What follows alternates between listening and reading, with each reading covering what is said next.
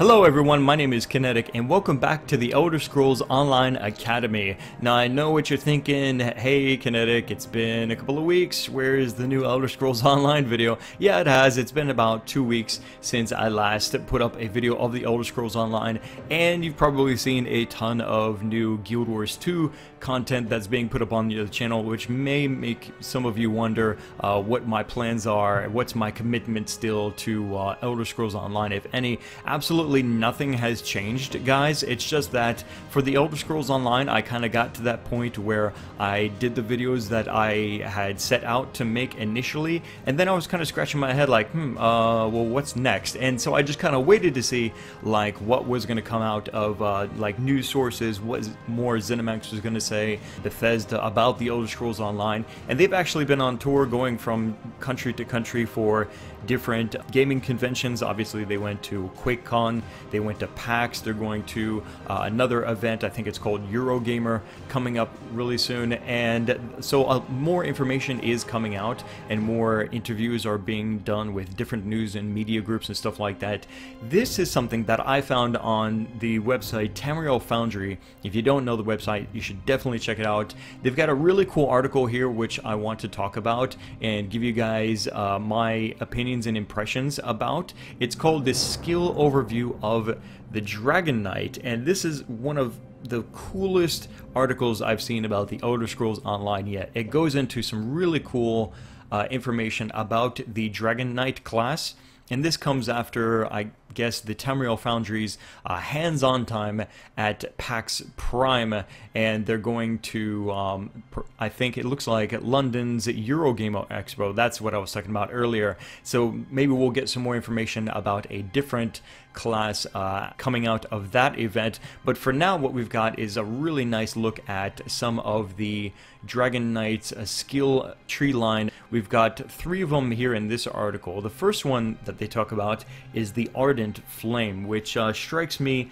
as a, a bit more of a DPS type of build for the Dragon Knight. It's got uh, obviously some flame fire kind of uh, based attacks and abilities here. And what's really cool is they list not just like normal abilities, but they also list the ultimates and the passive traits as well for each of these lines. So let me talk about a couple of these while we're going through them here. The ultimate for the Ardent Flame is called a Dragon Knight Standard, and it says plant a standard dealing damage to all nearby enemies and reducing the incoming healing they receive. This sounds like a very powerful ability that will go down and uh, really put more pressure on whatever group of enemies that uh, you happen to be taking on at that time. Definitely. We've got uh, some, hey, no surprise here, fiery reach, some more, fire-based and uh, fiery named kinds of things here. Uh, we've actually seen this before. Fiery Reach is that ability that you've probably seen in videos where it looks like the Scorpion ability from Mortal Kombat. The, the Dragon Knight throws out a chain and then pulls the enemy to them. This is definitely the ability that uh, players will want to keep handy to uh, to make sure that they keep the pressure off of their healers. If they see their healer running for their life, then definitely help them out. Throw out some Fiery Reach to your buddies there. They'll thank you for it later. We've also got uh, Fiery Breath. This sounds pretty cool. It's deal fire damage to all enemies in front of you, igniting them for additional damage over time. Very, very cool. Some of the passive stuff that stood out to me are um, Warmth. Deal fire damage applies a snare to enemies. That's pretty interesting. Dealing fire applies a snare. Not only is that like more damage, but that's also some crowd control ability as well. That sounds really, really cool. And then also there's World in Flame. This stood out as well to me. Increases the damage of fire-based AoE abilities. So what we might see here is from the Ardent Flame, you'll be able to see the Dragon Knight kind of going over to his uh, his mage buddy or something like that in the group and be like, "Hey, I see you've got a a, a destruction staff there. Let's uh, let's let's do something cool together." You know, then they, he can cast some fire stuff or whatever, and um, it will work exceptionally well with uh, the World in Flame coming from the Dragon Knight. Next up, we've got Draconic Power, which is definitely the more tanky defensive kinds of, of uh, abilities for the Dragon Knight. We've got the ultimate, which is called Dragon Leap, and this is definitely one of the coolest looking abilities that I've seen. We've seen this in some videos. Leap forward on magical wings dealing AoE damage upon landing and knocking nearby foes backwards. Also we've got a very interesting active ability here called Dark Talons. Root all nearby enemies, dealing additional damage to enemy enemy to any enemies not already affected by talons. I wonder how many Dragon Knights with Draconic Power and Dark Talons uh, are able to use Dark Talon together in a group of enemies and is there any uh, diminishing return? If you keep using or what the cooldown perhaps is like on uh, Dark Talons and if an enemy happens to recently have been affected by Dark Talons can they still be affected the same way by another Dragon Knight that may be doing the exact same thing uh, in a really short time soon after the initial Dark Talons has worn off? Hmm Something else that really stood out to me for Draconic Power is Inhale. Absorb he health from every enemy nearby, then return damage to affected foes depending on the total amount of health absorbed. That sounds like something really, really effective for um, for big groups of enemies. And again, it, it's making me wonder the same thing about Dark Talons. Like, are there any diminishing returns? I think that's the term that I'm looking for here. Are there diminishing returns for enemies, be it PVE or PvP, that have uh, been affected recently with um, the Dragon Knight's draconic power abilities like this? Something cool on the passive end of things, we've got increased passive health regeneration for each dragon ability on your bar. That's the Elder Dragon passive. And we've also got Burning Heart increases healing received for each dragon ability on your bar. So the more of this stuff that uh, you equip from the Draconic power, then the more that these passives seem to uh, to help you out. So yeah, that's looking really, really cool. Definitely the type of thing that uh, I think tanks are looking for.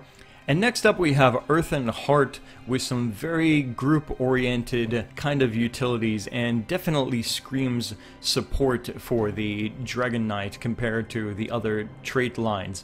For the Ultimate, we've got Magma Armor, which limits incoming damage at a maximum percentage of your health per hit while dealing fire damage to all foes around you. That sounds really, really cool. We've also got something here called Molten Weapons, an AoE buff aura which increases the power of all nearby allies with double benefit applied to the Dragon Knight. Petrify applies a long duration stun to the target. The petrified enemy can take some damage while stunned, but sufficient damage will permanently end the stun. This is pretty interesting because in most MMORPGs, at least that I have seen, where a long duration stun is applied, it means that should any damage affect that target whatsoever, it would immediately break that stun. But it's interesting here that the petrified enemy can take some damage. So perhaps if there is a, uh, damage over time, such as a poison or a, a burning kind of uh, effect or whatever on that enemy,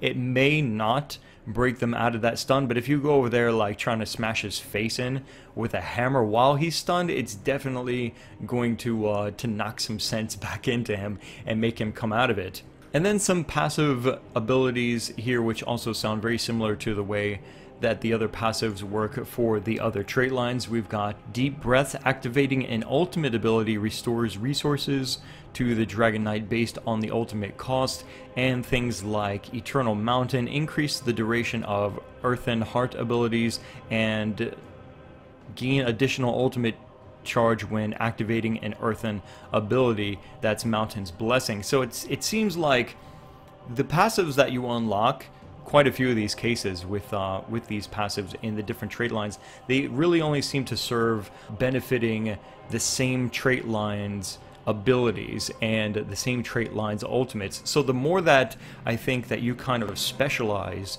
in a particular trait line, the more efficient that you will be at it. The more that you mix things up, um, the less benefit you may see from uh, from the passive abilities. I guess it all depends on how you mix things together for uh, for your Dragon Knight.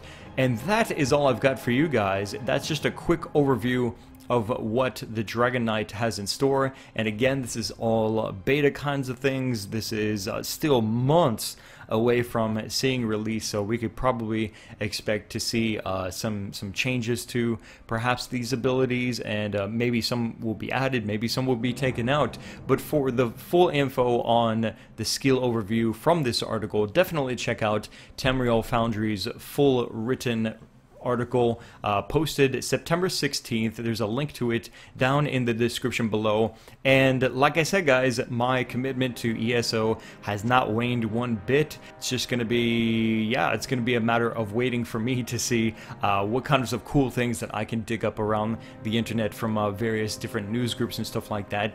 And um, yeah, if something happens to stand out, then I'll be really glad to come out and show you guys what I found and give you my thoughts on it. Let me know what you guys think about the Dragon Knight in the comments section below and make sure that you stay subscribed for more Elder Scrolls Online coming up very soon. My name is Kinetic and I'll see you guys next time.